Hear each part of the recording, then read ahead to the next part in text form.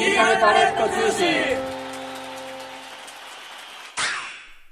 はいどうもいいかねパレット樋口です。青柳です。今日も元気にいいかねパレット通信やっていこうと思います。よろしくお願いします。よいしょさあさあさあ、うんうんあの前回はね、はいはい。はいあのズームでトークしたんですけどもね。まあつうかそれ時にマサと俺と荒野でそうそうそうそうまあパレット通信やろうやみたいな、んはい。ゆったりとねやっていきましょうみたいな話だっよね。したた後にもういきなりイレギュラーなのが2つあって、えー、とその次が、えー、と車の中で収録した青柳高也を交えての就任式の日振り返りと、はいはいはいはい。でその次に就任式の本番の映像っていうことで、はいはいはい。えー、と久々の収録になるんですけどもそうですね。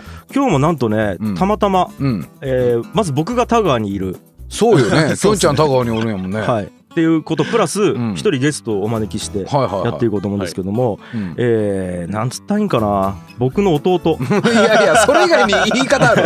言いましたね。樋口。樋口太陽くんです。よろしくお願いします、はいよろしくお願いしますねごめんシャキって動いてもらっていい？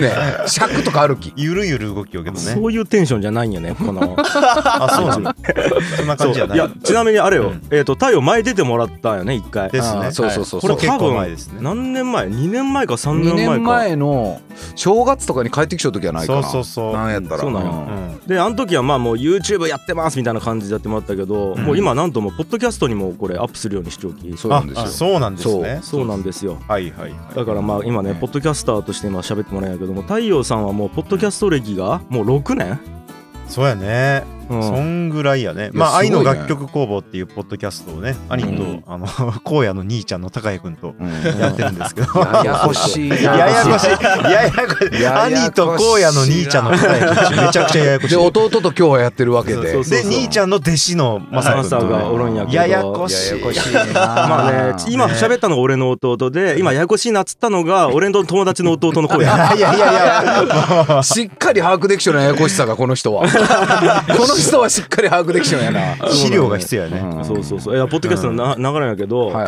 あのあれなんよ。だき最初ねえ FM ラジオから始まって俺ら。そうよね。はいそうですそれこそ本当に俺と ちょっと待って太陽と荒野の兄ちゃんね。ちょっとパニックでもう名前で呼んだ方がいい。高谷名前で呼んだ方がいい。で高谷はこの間俺と荒野と一緒に出た高谷ね。ちょっと待ってもうこの話はもうわけわからなくなるき詳しくは木村良一くんがね出た回でそうやね。そうそうそう。ああの回分かりやすいわ。わかりやすいめっちゃ分かりやすい。うん図がありますからねあのあのまあそんな感じでやっていこうと思うんやけど、ええ。あのなんと太陽今回ね1週間以上おるんよね。そう。なんよ。うん。あら？いつから来たんやっけ？6日前。うーんとね月曜の夜から泊まって、うん。えっと、火曜の、まあ、朝までおるき、うん。なんこれ？7なんこれ？泊？8泊、うん。どうなんかな？7そんぐらいおるな泊は8日とかやな。まあそんな、うん。はい、長期滞在してるわけそうですけど。でその間ねうんずーっといいかねパレットに泊まっていや本当ありがとうそうなんですよ。と言いますまさかの。そうそう太客典型的な太客やねまあ、今回の自分の目標がどんだけお金を落とせるかいい金パレットそして田川にいやっていうあのねこれね嘘っぽく見えるけどんガチで言うんよ俺ちなみにこいつが泊まりに来ているおかげでというかせいでというかはい毎日一緒なんよ飯食いに行くの夜とあかーそうですね。ね。風呂入り行くとか飲み行くとかもう毎日一緒やき。もうやっぱ互いにお金落とさなばいみたいな。古着屋のロッジ行って買ったりね。そうですね。うん。そうなんです。よいろんなところにお金えお前どの立場なの？まあなんなんやかね。自治体なんお前関係人口なの？関係人口。お前関係人口なのもし聞いかしたてことがある。いやないけどいやまあなんで来ているかというと、はい。そんなにあの、実家の片付けをしようんよ今。はいそうそうはいそう。そうあのまあ俺と太陽の実家がここいいかねパレットから、えー歩いて10分ぐらい。うんとこにあるんやけど、えーまあ、そこねもともと家族4人で住んじゃった実家があって今はうちの両親2人で住んでる実家があるんやけどうん。そこの家の片付けをするためにわざわざうん。その8日間ぐらい休みを取って今帰ってきてるそうです。まあね。これ誤解が生まれやすいと思うんですけど、うん。あのうちの両親生きてます。あそうそうそうそう。はい。あそうかそれ違うんだ。いやそうなんですよ。これ誰かに言ったらみんな「あごめん」みたいになるあそうそうそうそうそう。あごめんあごめんあえ本当に？何みたいな感じになる実家の片付けってやっぱそういうことなんやねいやこっちじゃそうやきね。うん。実家の片付けっていうね。まあ確かにそうですね。いやうん。でも本当に俺の心の中では二人とも生きちゃうんよ。ねいやいやいやいやややこしいややこしくなるじゃないですかややこしくするよねいや本当に。確かに心の中では生きちゃうかもしれんけど本当に生きちゃうきそうね。本当に生きちゃ う。そう。心の中でもね生きとるってことやどっちどっちでも生きちゃうきうんそう。うん。でまあまああの片付けをするために帰ってきてなんかねちょっと大掛かりにしようよ。すごいよね。なんそうそう。そうあのかしっかり片付けよね。すごいよ。えっとね片付けアドバイザーってそうなんいうですよあの甲斐さんという方がおるんだけはいはいどその甲斐さんにわざわざきお仕事として来ていただいてうん。まあやるっていうのやるんですけどこの話をしだすとちょっとねそう。長なるんよ。ね映画になるよね大長編になるんで。うんなのでこの話をお聞き、えーいただきたい方、え聞きたい方は、あの多分ね愛の楽曲工房っていうそれこそさっき言った僕と太陽が一緒にやってるポッドキャストやってるんで、まあ、それである程度は情報をお伝えできるかなとうん。思ってるんですけど、まだ片付け終わってないんでね。あそうまあ片付け終わった後にまだ終100%あるやろうね愛の楽曲こそうそうそうその回は。まあ、あるんやけど、まあ、それは置いといて、はい。ちょっとねせっかくあの、愛の楽曲工房じゃなくていいかねパレット通信なんで、そうなんですはい。うんあの、うん。いいかねパレットの話を太陽に聞いていきたいなと思うね。そうね。うんとうとうこの日が来ましたね。そうそうそう。まず、はいえー、とじゃあざっくりうん。前えっ、と2年前とかにうん来てもらった時と、うん。今なんか雰囲気うん。とかうん印象の差っちある、ありますよ。あ何が？はいはい。もう活気があるはいはいはい。活気があるわ。なるほど、はい。うん。それどこでそう感じたの、子供たちがいっぱいおったり若者がいっぱいおる。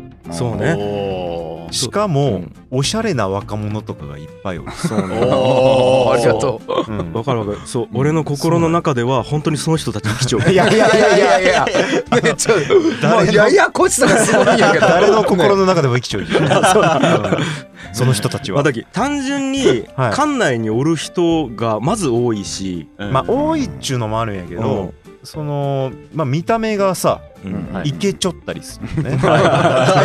マジ太陽らしくないこれ言うと。そうなんや。うん。まあね。うん。だからまあそういう意味でもいろんな意味で活気があるなって感じました。ねはいはいはい。まああとはまあずっとドミトリー泊まってますけど。すごいよね。ずーっと本当うんすごいよね。7ずっといます泊もんね7泊もね。今日で何泊目って感じやけどもうん。7泊目ぐらい。7泊もう心地が良い。おー。あそう。心地がいいわ。ありがとうございます。ああ実家より嬉しいですね。実家よりも。いやなんでこれずっと泊まってるかっていうと実家があの物の片付けをしてるんで、はいはい。うんうん。いろんなスペースをうん。あの物広げてるんですよ、まあそうよね。そそううなるよね。だからまあ最初からそれが予想されたので、うんあの片付けの邪魔にならないようにはいはい。全部止まるってなって、はいはいうん。まあなかなか思い切った決断だったんですけどそうやね。そうですね。本当にこうしてよかった。ああのあれよね、えっと、本当によかった。10床あるドミトリーのところの1個をずっと使うよね。あそうですね。そうそう。二段ベッドのところ、はいはい、うんどう？あのなんかスズメとか入ってきちゃったけどいやそうな んや。スズメ入ってきちゃ入ったスズメ入ってきちゃった。あこれ知らんやろ。俺知らんかった。えあそうです。昨日の朝かな、うん。昨日の朝起きたらうん。あのーシャワーのところあるやん。うん。はいはい。シャワーのところでうん。ドンチョンドンドンドンドンドンうんって音がするうんえなんと思って、うんでドミトリーあの宿泊者いや宿泊者か？俺一人やったけどさ、はいうんはい。あの何やったん何やかと思ってうん。行ったら、うん。スズメが外に出ようとしようよ。うん。で謎なことにうん。窓が閉まっちゃうのにスズメがおるんよ。うん。うん。でシャワーのあの部屋から外に向かって何度もあのトライしよトライしようよ。うん。脱出を、ううん。はいはいはい。でそれに見かねてあの俺が窓を開けたんやけど、それでもなかなか出れんで。うんでそうこうしてたらあのどうしても片付けに行かなきゃいけない時間になったんで、うん。うんあその後わからないんですけどうん スズメいなくなってましたよね。いなくなってましたね。そうなん出れたんじゃないかな。そうそうそう。まあだけん。普通はねバードウォッチングいいかな見れんスズメをうん。もう室その室内で あのゆったりとした室内で快適な温度で。そうそう徒歩0秒で見れるっていう。うん。すね支度の間にね 支しかも度支度の間にね見れるわけ。運が良ければね。サクッと見れる。しかも逃がす経験までできるっていう変わったところなんですけど、もあるしね。あと変わったとこで言うとあれじゃない？おいとま食堂もなかったんじゃない？あそうですね。あーあそっか。おいとまいやもうあれですよ。もう行った初日あれ？次の日かな？うん。次の日か。うん。いやまず初日が、うんうんあのあれでしたよ。初日11時半ぐらいにうん。田川ご当寺駅着いて、はい。うん。はいはいで迎えに来てもらってここに着いたら、うん。はい。いきなりレコーディングやってましたから。ね、そっかそっか、ま、松村君か、いやいやあれ？ダイヤモンドズ。あダイヤモンドズか。ダイヤモンドズがレコーディングしとったレコーディングやってて「いや何しよん」っつったらみんな俺の友達が集まっちゃって。レコーディングしようよバンドの、そうね。まあ、これだけでもすごいのに。いやちか本当やね。うんたまたま太陽帰った日にバンドのレコーディングしようっちやばいね。うん。ね。うん。ここ田川で。エモかったやろ。うんエモかった。うん。でちょっと途中まで途中段階で息聞かしてっつって、うん。この吸音の効いたねうん。はい。コントロールでね。スタジオで。うん。で聞くわけじゃないですか、うん。そうこうしてたら、うん。あじゃあちょっと太陽ポッドキャスト撮る気。ゲスト出演してくれんす ああいいばいっつってでポッドキャスト撮って、はいーカントリーマンラジカントリーマンラジオね、はい。はいであのー寝たわけですけど、うん。オはい。まあ初日からいきなりすごいじゃないですか。かまされちゃうもんねそうそうそう。すごいですね。うん。で次の日、まあ、片付け一日やってね。うん。はいはい。で帰ってきたら、うん。今日パーティーやるらしいわよああバーマルそうそうそうそう。ああそっか。そうでしたね。バーマルか。マミーがやってるね。はい。バーマルうん。いいかねパレットのおいとま食堂で、うんうん。そうそうそう。で夕方からああじゃあ行ってみようっつって行ったら、もうすっごいよ。チッとんチッとんチッとんチッってな給食室が。なんかまあイメージちょっとお前みんなこういう感じにねうん。ドゥドゥドゥドゥドゥドゥドゥドゥドゥドゥみたいな感じではないけど。いやでも多少は ドゥドゥドゥドゥドゥドゥドゥドゥっていう感じと思うけどね。でもトゥトゥトゥトゥトゥっていう感じも。いやいやいやいや正確正確ジャンルの違いがアカペラじゃ伝わりにくいまた複雑になってわかりやすいわかりやすい EDM ね EDM はい。ダブステップ系の。まあまあそれどうでもいいんやけど。いでや薄暗い中でさみんながあの盛り上がっちゃって。うん。であの市村敦則。まあ同級生同級生のね。同級生の市村敦則あのそれこそイカのパレット通信も出ました。よ出た。出たあのジン。ジン。で久々に会ってうん。ウェイみたいな。うん。何しようみたいな。話をしながらん。チッチッチッなっちゃうやん。ん。かと思ったらさ俺の会ったことのないうん。もうだるっとした格好のした若者がさ だるっとした。うん黒いマスクをしてさ黒いマスクをしてうん気をつけながらうん。お酒をたしなんでるわけですよ。はいすごいな。いやだそうだけど俺も行ったんやけどね。だってあそこ本当に10分15分ぐらいしかおらんかったんやけどうん。そこのバーマルでまあ友達と話したんよ。うん。結局話したのうち今のアートがどうやって NFT で盛り上がるかみたいな話をしたもんね。田川で。してそう。うん。してそそう。ういやそれこそ敦則とかと一緒に。いはいうん。いやで今の N- NFT 値こうなっちゃうき、うん。あのきょんちゃんこういう方法あるばみたいな、うん俺知らんかったきそれ、お前すげえのそれめっちゃいいやんみたいになって、いはいはいはいはいはい。や頑張っていこうみたいな話を。田川ででもそんな会話されることないもんねそうそうそう。なかなか。うんいやー言っていいっすか一言うん東京より進んじょう。東京より進んじょうよ。いや本当にまあまあこれ兄ちゃんとさあうん。の東京の人交えてあのズーム打ち合わせした時とかにうん思った、話したかもしれんけどうんえーと東京の人の方がズームの操作慣れてなあかったそれマジで思った。あ本当？マジ思った。への、え画面共有の仕方あえっとどうやって許可するんでしたっけとか。あはいーうん。で今さすがにあの喋れるんやけど、うんはい。ちょっと込み入った、はい。あのー設定とかがうん。あんまりわからんかったりするんよ。あー。これ東京あるあるなんやけど、はいはいはい。で地方である田川の人の方がガンガン慣れてるっていうね、うん。そう。えあー使ってるかも。確かに田川の人の方が。そういうのがまあズームだけじゃなくてなんか他のことにもちょいちょい感じる。おなんか。なんやろうね、まあオンライン系で言うとね、うん。はい。そういうさっきの NFT とかもそうやけど、うん。はい。あのーそうする必要がなかったりするやん、うん。そういう知識を得る必要が、はい東京で仕事をしよったりしたら、はいはいうんだけどまあ打ち合わせとかも、まあ、なんだかんだ出社しようとかさ、うん。うんもあるし、うん。というわけで、うん。はい。東京より進んじょう。なるほどね、えーなるほど。だけどまあ太陽うんレベルに合わせて分かりやすく言うと、うん。産業革命がイギリスで起こった理由と同じかもね。その中国の王権がすごくそのガバナンスが効いちゃったから、うん。その逆にイギリスでのその王政が弱かったから産業革命が起こったって話があるし、うん。そういう話かもね。なるほどね。何本撮りしよっか。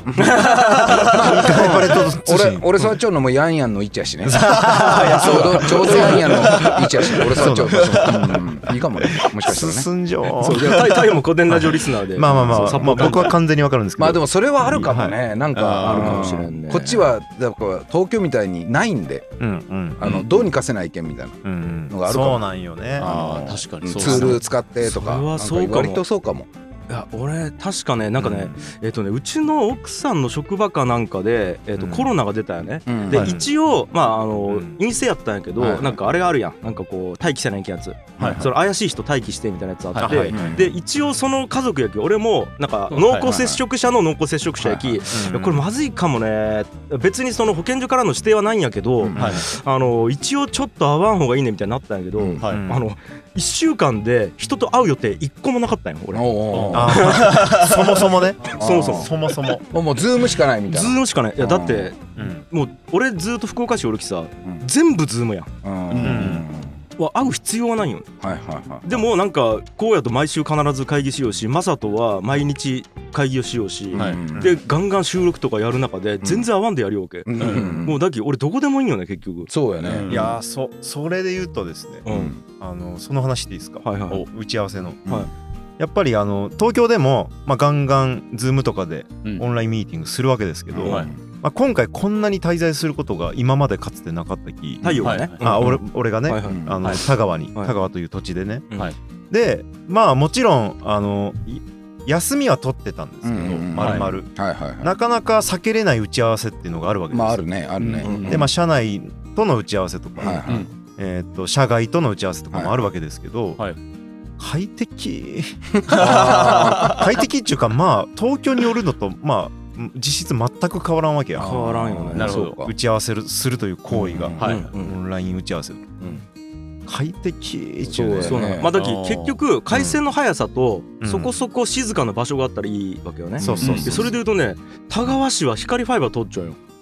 そういうのがあるんでいいかねパレットも去年はい。にもうほぼ全館 w i f i うんが通したん。めちゃくちゃ強くしたよね、でルーターたくさん置いて。ああそれ、そういうのもあるんやね。やし、えーとはいはい。なんやかんやで、えー、とズーム部屋っつうの作って、ううんん。そう今グリーンバックスタジオ作るんやけどそこにズーム部屋作ったりとかうん見学行きましたよ。そう、ん。あとはそのもともとでっかい1個の教室やったところを4分割してそうそうそうあーあっこもいいよね。会議室にしたりとか。会議室にしてる。うん。いやそうそう。であの片付けが休みの日があって、うん。一日丸々休みの日。うん。でまあ平日だったんで何個か打ち合わせ入れたわけですよ。うん。はいでもう23個打ち合わせしてうん。うん。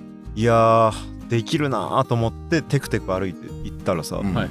もう2階の教室でさはい。荒野打ち合わせしようしはい。まさくん打ち合わせしようしうん。はい。さだ打ち合わせしようしうん。それが見えるわけよ。至る所でオンライン打ち合わせしようね。東京より進んじょう。ってうん思いましたよ、まあまあまあね。うん。こううん。距離があるきね。どうしてもね。うんうん。でそうこうしてたら片付けアドバイザーの甲斐さんとさうん。急遽なんかズーム打ち合わせ、はい。えー、と打ち合わせできませんかっていう提案があって、うん。はいはい。あ今日の何時だったら大丈夫ですよっつって、うん。はい。でその後にまた打ち合わせサクッと入れたりうん。はいちゅう感じですよ。はいはいはい。はいはいはいはいどこでもできる世界。どこでもできる世界ですね。んですね。本当に。いや東京から来たんとき太陽あはい。へえダッサ。東京遅れてるぞ。ー東京くれちょ。これ見よう東京の人。お前だって遅れちょうぞ。お前だってついてこなのそうやな。うん。そうやな。だってもううん。田川ぐらいになったら、うん。この間源氏の森温泉があるでしょ、はいはい源氏の森温泉のその休憩所喫煙所みたいなところではい。うん。70ぐらいのおじいちゃんが、はい俺今リップル入れちゃうんよちょっとまあそういうのもね。仮想通貨のね。そういうのもあるよこれリップルお前ビットコインがもう今なんとかでとか言って俺リップル入れちゃうんとかああなるほどね。ね。やっ老後の老後の資産運用としてね、うんもう見過ごせんよね多分そういうことじゃない。いやいやいや。そういうことじゃなくて。進んじゃう話ね。あ進んでますいや面白いね。老後の話してない。は あだけど金に対する意地汚さが。と YouTube がもうそういう話。その限界都市がみもうこうなんか絡み合って最終的に仮想通貨結構みんないるよみたいな。はいやーでもねそういうのねまあそれだけじゃなくていろいろ感じるんやけど、あの荒野と一緒に映画見に行ったわけですよ。はいはい。そうそうそう。どこ？したら新ウルトラマンをねうん。一緒に。あの能形イオンに。能形イオンレイトショーで行って。能形イオン綺麗で広いんよ。うん。はいうん。で、まあ、こないだねあの両国、まあ、東京のね東京の両国あたりのあのそういうショッピングモール行ったんですけど、うん。もうそこよりなんなら大規模なまたきそうかそうなるわ。うん。なそうなるよね。で同じような店舗入っちゃうし、うん。はい。でなんなら今日ユニクロでね全身揃えたわけですけど、うん。あの洗濯物が溜まっちゃった、はいはいはい。あの新品のものを買いたいと思って、はいはいはい。もうユニクロもさうん。綺麗や、うんはいまあ当たり前やけど、当たり前はい。それだけあのー後でできちゃうき。うん。うん。っていうことやね。そう。あまあまあまあまああとあ。そうそうだけあの後でできちゃう。えだけえーと要は遅れてできたっつうことはうん。新しくできちゃうってことそうやね。そうやうん。ね。うん。綺麗やね。でまあ東京よりもなんなら品揃えいいとかうん。あるし、広いきね。うん。なるほど。でまあ某広告代理店のねあの人がもうユニクロのシャツがいいっつってさ、うん。うんもう今後ずっとユニクロで行くみたいなことを東京で働いてる人が言ってたわけですけど、はいはいはい同じものを今日僕はゲットしてるわけですよ。はい不思議な気持ちになるよね。なるほど。東京のねうん大手広告代理店の人と同じものを今ここ田川でゲットしてうん。うん。でオンラインミーティングしてうんそういう NFT みたいな話をしていると。うん。はい。不思議な気持ちになるマジで。でもお前家どこやったっけ？どこやったっけ？俺の家どこやったっけ違う違うドミトリー違う違う違う違う名前はかっこいいけど家ドミトリーの名前はかっこいいけどそれ長野やろえっとまあ僕は今えっとい四谷新宿区四谷とはい長野の2拠点生活をしてるわけです、まああの3つ目の場所としてね。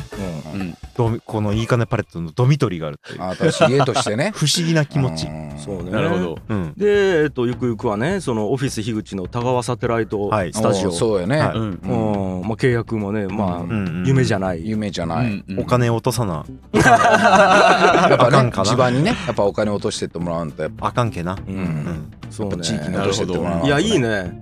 そんな感じですよ。うわちょっとなんか意外と新鮮やったわ。うん、うん。俺も意外と新鮮やっ鮮だった。たまああと普通に滞在して思ったことはうんまあ僕妻子がいるわけですけどうん。はい。